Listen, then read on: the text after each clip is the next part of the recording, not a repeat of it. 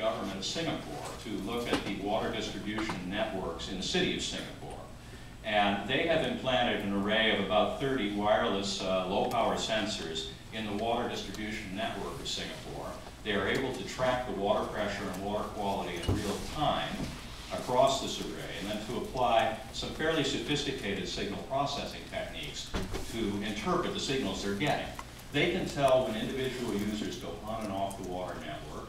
They can tell when a pipe breaks. They can also monitor in real time the pump pressures through the network so they can optimize the pumping power. And they think that they can cut the electrical consumption of the pumps by about 10% through that means. And in addition to this, they're monitoring the water quality. If there's a pipe break, there's a potential for intrusions and contamination of the water.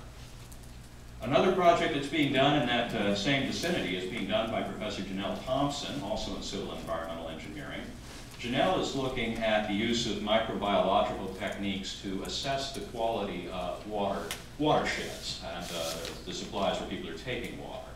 And specifically, uh, one example, you check water supplies to see if fecal coliform bacteria are in the water. It is a marker, an indicator that there might be human fecal contamination of the water, and potentially human disease that would go with that. Uh, cholera, as an example, maybe something a little less dramatic like hepatitis. Uh, the problem you have in warm climates, such as you find in Singapore, uh, is that these bacteria can grow wild in the environment. It's warm, it's tropical. And so when you take a sample, you don't know if the concentration of bacteria you're seeing is a result of fecal contamination of the water supply or of wild bacteria.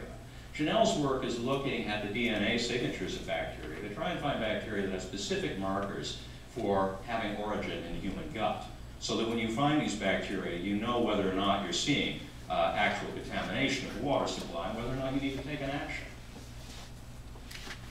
There's a great deal of work related to water and urban design. I have a slide here from Professor James Wescoat, uh, the Aga Khan Professor of Architecture here at MIT.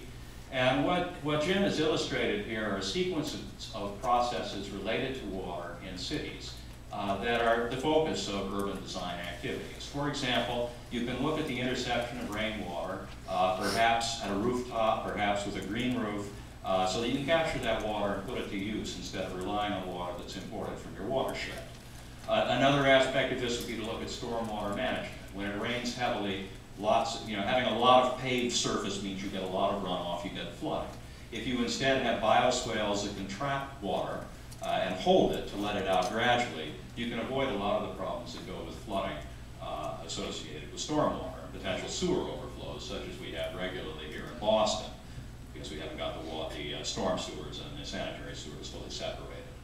You can look at urban design, you can look at how you integrate water into urban lifestyle and create a pleasant environment as well. You can look at wetland restoration so that you can manage the processes that go with wetlands. And you can also look at things like how you uh, respond to rising sea level. Some of you may have seen the article in the New York Times about two weeks ago describing how New York City is actively looking at what to do about potential high sea level events. When weather becomes more extreme, when the, the oceans rise a bit, you are much more likely to see flooding of coastal areas during storms. And so they're very concerned. They've got 200,000 people living within four feet of sea level. Um, here's another example. This is a project by uh, Professor Eran Ben-Joseph uh, in uh, uh landscape architecture and planning. Uh, he has done this redesign in Japan. This is a typical storm runoff ditch on the left. You can see it's there to carry water away. It's sculpted deep so you can handle the surges you get in heavy rain. And what he's done is a redesign of this. It creates an open space, it's properly lit, it's usable by people, uh, and which still fulfills its function of trapping stormwater. And so there are solutions of this type being developed uh, in the urban planning um, this brings me to what's uh, my favorite subject and obsession, which is technology for water purification. Uh, I'll talk about a number of things here, but I won't go into tremendous depth because I know that you don't have all day to listen to me go on. Uh, I do want to start with a, a, chart that tells you what it means to purify water. Occasionally I'll talk to people and they say, well, what's the best way to purify water? And I say, well, what do you want to take out of it? And so really the first question when you talk about purifying water is what kind of purification you engaged in. Well, job number one is to get rid of things like bacteria and viruses because they make you sick, they kill you quickly, uh, and that's the most important thing. They're relatively large. This is a log log scale of uh, approximate size of particles. You can see that bacteria are micrometer size, viruses are maybe tenth micrometer size. Both of those are relatively easy to kill using chlorination. It's inexpensive technology. We can do it very well. It's readily portable and readily adaptable. Uh, so it's unchallenging in a sense to do that. You have to do it, but we know how to do it very well. When you get to removing some of the more uh, insidious things that we can put into water supplies, man-made organic compounds, uh, you've probably heard about estrogens, you've heard about PCBs, these types of things. They're often smaller, and the technology required to get them out of water is correspondingly a little more advanced. Some of it can be removed with granular activated charcoal to absorb it. Some of it can be removed with certain types of membrane filtration at low pressure. But you're spending more money, you're putting a little more effort in to get rid of things like that. The hardest stuff you get out of water is dissolved salt. It's the smallest stuff, takes the most energy to remove it, and that's where the technology tends to become the most complex and the most expensive. And so sort of the high end of things, if you like, the last thing you're going to do to improve, to expand your water supply is desalinate. You do everything else first. And I'll come back to that uh, at the end. Here's an example of a project related to water technology. Uh, my colleague Karen Gleason has been developing coatings to put on uh, membranes that will prevent biofouling. Specifically, these are zwitterionic coatings with positive and negative charges on the surface that inhibit the attachment of bacteria. When the bacteria can't attach, you can't build up the biofilm that gives rise to biofouling. On the right-hand side of this chart are two samples of membrane. One is a commercial membrane, I believe it's a Koch membrane, uh, and the other is the same membrane with a 20 nanometer coating on it. Just below that is the result of exposing these two membranes to a solution containing fluorescently labeled bacteria. And you can see that after about 30 minutes in contact with the bacteria, the uh, uncoated membrane fluoresces bright green. It's covered with bacteria. The coated membrane is doing very well. So this technology is being licensed, I, I believe, to Pall Corporation.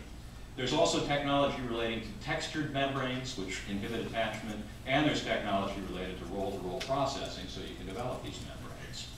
We have activities uh, in collaboration with the Masdar Institute that are related to membrane distillation uh, and in this case, what we're doing is using hydrophobic membranes. They can't be wetted, but they're porous. So if you bring warm liquid up to the membrane, the liquid can't wet it, the vapor can go through the pores.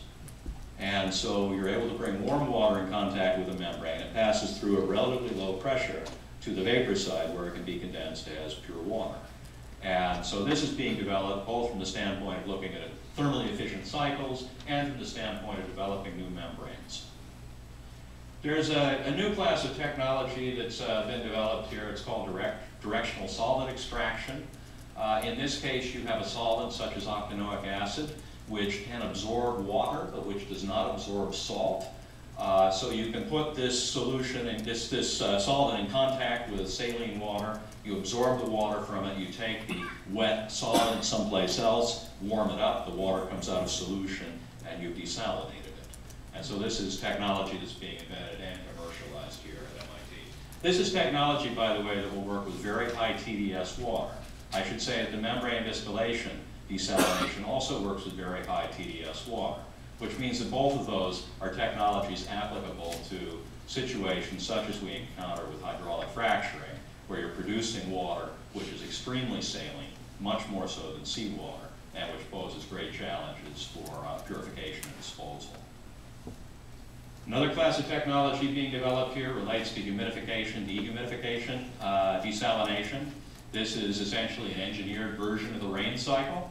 You spray warm saline water over a packing, air flows through the packing, it's humidified, you carry the humid air to the other side, condense it, and capture the vapor.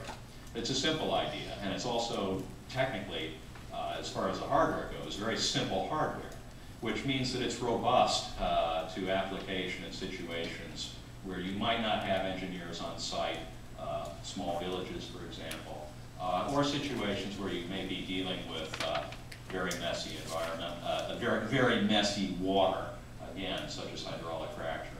The art of this kind of research is making the systems compact, making the systems energy efficient. Uh, the group working on this has produced about 10 patents and about 40 papers dealing with that and also being commercialized. Uh, on the uh, more distant horizon, we've got some work that's related to the use of graphene membranes for desalination. This is work by Jeff Grossman in materials science and engineering. And in this case, they're looking at using uh, membranes made out of graphene, which is essentially a sheet, a single molecule thick, that has pores in it, uh, and which turns out to reject salt ions and admit uh, water. And they're achieving, uh, through molecular dynamics simulations, extremely good performance from these membranes. Uh, it will take some time for the